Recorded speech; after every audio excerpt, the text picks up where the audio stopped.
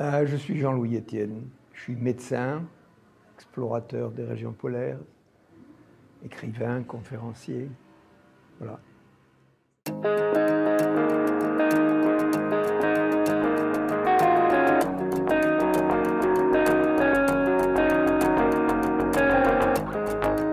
J'en ai fait beaucoup. J'en ai fait beaucoup, elles avaient tout un capital intéressant. Si je, dois en isoler une, euh, c'est une expédition solitaire que j'ai faite au pôle Nord en 1986. En 1986, il n'y a pas le GPS, il n'y avait pas de téléphone, il n'y avait rien, donc c'était une aventure personnelle profonde, je dirais. Ça a duré deux mois. J'ai résisté à toutes les tentations de l'abandon, c'est ce qui m'a construit. Ça a été un tournant parce que j'étais médecin avant, j'étais interne en chirurgie. À partir de ce moment-là, je me suis dit, mais ça, ça va être ma vie. Et depuis 1986, je suis devenu entrepreneur d'expéditions lointaines.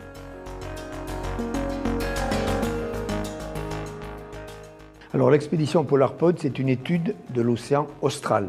L'océan austral, c'est là on est dans l'hémisphère sud, l'Antarctique, et tout autour de l'Antarctique, il y a un courant qui fait le tour, qui s'appelle le courant circumpolaire antarctique. C'est un courant très très puissant qui unit les trois océans, l'Atlantique, l'Indien et le Pacifique. Et donc le principe, c'est de faire un navire vertical, c'est-à-dire un navire qui fait, il fait 100 mètres de haut, il y a 80 mètres sous l'eau et on habite à une dizaine de mètres au-dessus de l'eau. Dans la partie supérieure, il y aura 8 personnes, 3 marins, 4 ingénieurs-chercheurs, moi quand j'y serai. L'objectif principal, c'est que cet immense océan, c'est un océan d'eau froide, hein, ça fait 22 000 km de circonférence, c'est géantissime, on ne se rend pas compte de l'immensité.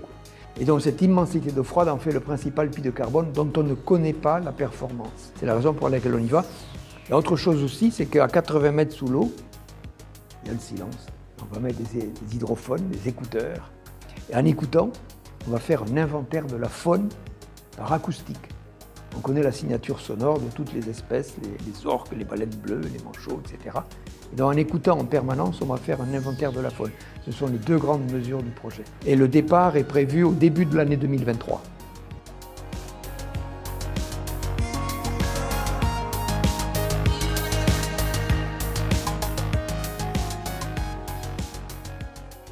Alors, ce que dit le GIEC, c'est qu'effectivement les océans sont très impactés, ainsi que les, régions polaires, la cryosphère, les endroits où il y a de la glace permanente, parce que l'océan capte 93% de l'excès de chaleur. C'est ça le problème. Et les régions polaires aux deux extrémités sont impactées.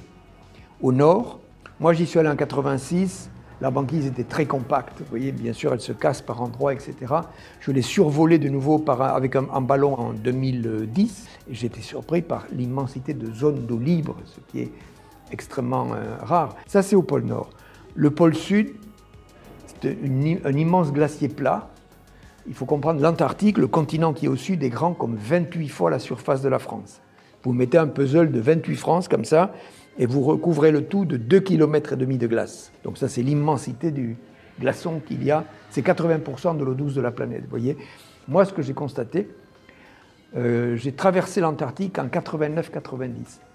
Les 600 premiers kilomètres sur la péninsule, c'est ce qu'on appelle un ice shelf, l'ice shelf de Larsen, c'est-à-dire une plateforme flottante de glace. Elles ont disparu. Sur 600 km, ça a disparu. Une partie en 2000, une partie en 2002. Donc tant le nord que l'Antarctique, sont vraiment impactés par le réchauffement climatique.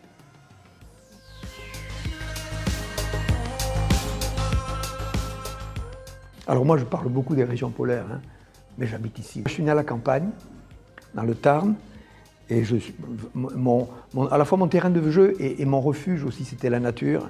Moi, j'ai construit des cabanes. Vous voyez, j'habite aujourd'hui dans des maisons dans les bois que j'ai construites. Et je me suis rendu compte du rôle énorme que joue l'arbre.